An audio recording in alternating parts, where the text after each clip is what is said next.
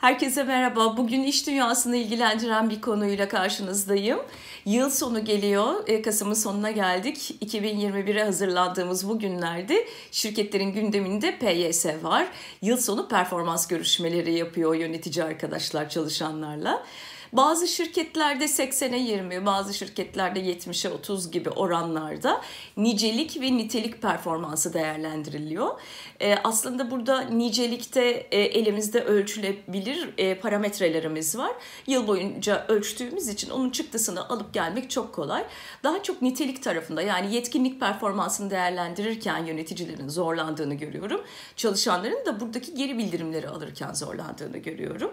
E, iki perspektiften üzerinden e, ele alacaksak eğer önce yöneticilerle başlayalım isterseniz. E, yazdım birkaç tane ana noktayı. Yönetici arkadaşlara ilk tavsiyem şu olabilir. Bu görüşmelere lütfen fiziksel, zihinsel ve psikolojik olarak iyi hazırlanın. Fiziksel olarak hazırlanmak demek o çıktıları almak demek ölçtüğümüz parametreleri alıp e, çıktısıyla gitmek demek. E, bunu online'dan yapacağız gibi görünüyor pandemide olduğumuz için. Dolayısıyla çıktılarınızı e, ortak bir e, alanda paylaşabilirsiniz. E, ya da kullandığınız LMS sistemleriniz, toplantı formatlarınız neyse dosya olarak gönderebilirsiniz. Aynı anda bakarsınız. Performans zaman eğrisi olarak çıktısını alırsanız eğer e, bunu böyle çok uzatmadan zaten kendisini değerlendirtebilirsiniz. Yıl boyunca baktığında kendini nasıl görüyorsun diye başlarsanız çok kolay olur. Yani sizin o sayısal verilerle ilgili ekstra bir şey söylemenize gerek kalmaz. Zaten aylık olarak ölçülüyordur bunlar zaten.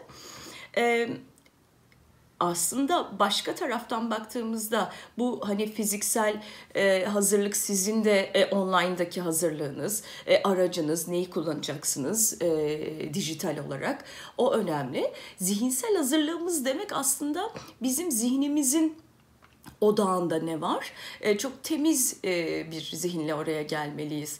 Ya önüne, sonuna bir toplantı e, koyarsanız eğer belki e, bir iç telaşınız olabilir. Önünü sonunu biraz boş bırakabilirseniz o anlamda iyi olabilir. Psikolojik olarak da kendinizi iyi hissettiğiniz bir zaman dilimine koyun. Siz kendinizi bilirsiniz sabah saatlerinde mi daha iyi olabilir, daha akşama doğru mu daha iyisinizdir. Ona göre karar verebilirsiniz.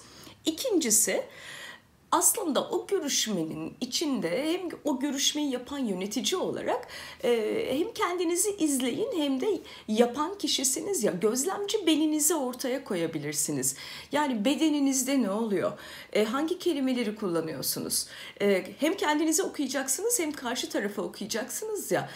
O yüzden kendinizin ve ikinizin oluşturduğu sistemin izleyicisi olmanız çok kıymetli. Çünkü burada yöneticilerin baskın olmadan liderliği var. Yani bu bir görüşme daha koçvari gitsin diyeceğim şimdi. Yine de e, bir liderlik edeceksiniz konu dışına çıkıldığında ya da zaman planınızın çok çok dışına çıkıldığında e, yavaşça onu e, böyle rotaya getirmeniz lazım. O yüzden de kendinizi izlemeniz ve sistemi izlemeniz çok çok kıymetli. Üç, burada yönetici olarak hem koç hem mentor şapkamızı takıyoruz.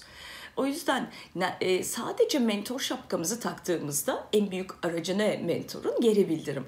Sanki e, benden ona doğru yapılan bir şeymiş gibi konumlanıyor. Öyle değil. Bu ikimizin birlikte oluşturduğu bir sistem gibi bakarsanız koç şapkanızı takmanız çok çok daha e, kolay olur. Çünkü e, geri bildirim verdiğinizde sadece monolog olacak bu görüşme. Yani diyaloğa e, dönüşmeyecek. Koçvari zaten başlayalım. Başlangıcı hep öyle olsun yani. Tabii ki nasılsın, iyi misin, yıl senin için nasıl geçti? Pandeminin en başından şu ana kadar geldiğin dönemde kendini nasıl gözlemledin? Ne fark var örneğin Mart ayı ile Aralık ayı arasında nasıl bir sen farkı var gibi başlayabilirsiniz. Onun dışında aksiyonlarınızı belirlerken de yine e, koç şapkanızı takmanız e, kıymetli. Nerede e, hangisini takacağımızı bilmek kıymetli. burada. Değişiyor çünkü görüşmenin içerisinde. Yani sadece koçvari yaklaşarak yapamıyoruz. Çünkü yetkinliği düşük kişilere, e, düşük çalışanlarımıza mentorluk şapkamızı kesinlikle takmamız lazım. Yani bu kıdemden bağımsız bir şey. Çok uzun kıdemde ol, oluyor olabilir çalışan ama yetkinliği düşüktür. E, yetkinlikte biz aslında e, işte stres yönetimi, liderlik, e, takım çalışması gibi e, özelliklerine bakıyoruz ya. Oradaki davranışlarını ortaya çıkarıp onları somut olarak konuşmak çok çok önemli. E, çünkü dördüncüde bu şunu söyleyeceğim metaforik olarak teşbihte hata olmaz. Bu görüşmeler sanki paket teslimatı gibi yapılıyor. Yani bunlar zaten yapılmak zorunda biz de seninle bir araya geldik. Hadi yapalım da bitsin gibi bir enerjiyle yaparsak çok hızlı olur, telaş olur, dirençler olabilir. Dediğim gibi savunma mekanizmaları devreye girebilir. Birlikte yaptığımız e, bir e, iş olarak bakarsak eğer e, o görüşmenin enerjisini de regüle ederiz, düzenleriz diye düşünüyorum. Beşincisi kendi uzmanlık alanınızı yani onun yaptığı işle ilgili sizin de sahip olduğunuz uzmanlık alanını lütfen onunla paylaşın. Somut taktikler verin lütfen. Ee, çalışanı kendi kaderiyle baş başa bırakmayın diyeceğim. Ve altıncısı gerçekten herhalde yüzlerce performans görüşmesi e, görmüşümdür. E, koç ve mentor şapkamla. Yönetici şapkamla da çok kez yaptım e, aksiyon tablosu belirlemekte, bir aksiyon planı ortaya koymakta çok çok zorlandığımızı görüyorum Türkiye'de iş dünyasında. Aksiyon planı demek action, hareket demek ya. Aslında içinde eylem barındırmalı. Bu bu çok çok e, kritik. Niyetle görüşme bitirmiyoruz. Yani e, niyetimiz iyi. Yani temiz işte. Hani 2021'de daha iyi olacağız ya. O daha iyiyi tanımlamak ve o daha iyiyi e, nasıl yapacağımız konusunda somut eylem adımları, zaman planı ile birlikte eylem adımları yapmak çok kıymetli. Çok küçük bir e, şey verebilirim kolaylaştırıcı olsun diye yönetici arkadaşlar.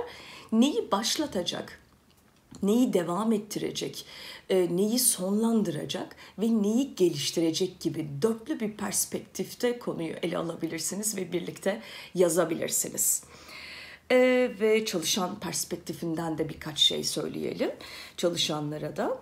Yani çalışan olarak biz yönetici de olabiliriz. E, orta kademe yöneticiysek üst yönetimle de bunları yapıyoruz. E, o yüzden çalışan rolünde birincisi bu görüşmeyi niye yaptığımız konusunda e, bir e, amaç birliğine ihtiyaç var. Sonuçta bir prim alıyor olabiliriz ama çıktısıyla o primi hak etmek üzerine yapıyorsak eğer o zaman o çok büyümek ve gelişmek odaklı olmuyor. Aksiyon planı da ona göre çıkmıyor. Unutmayalım kendimizi, çalışanı ve şirketimizi geliştirmek için yapıyoruz bu görüşmeleri. İkincisi eğer yöneticiniz size daha çok yorumlarıyla ve kanaatleriyle bildirimde bulunuyorsa eğer lütfen ona sorar mısınız? Hangi davranışımdan yola çıkarak bu kanaate vardın der misiniz lütfen? Siz de yöneticinizi somut alana doğru çekebilirsiniz.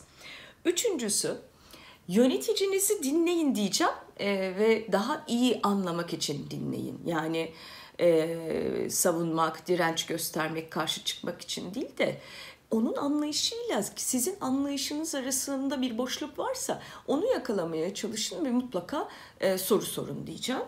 E, dördüncüsü yardım isteyin. Yani bir çalışan rolünde hepsini teslim almak, omzunuza almak zorunda değilsiniz. E, deyin ki ben şunu yapmakta zorlanıyorum. Lütfen bana yardımcı olur musun? Ne yapmalıyım deyin ve onun e, geliştirici tavsiyelerini alın lütfen. Ve beşincisi e, bu görüşmelerde etki alanının dışına çıkacak e, fazla konu konuşulabiliyor. Yani ne etki alanımda ne benim aslında yetki ve inisiyatifimde.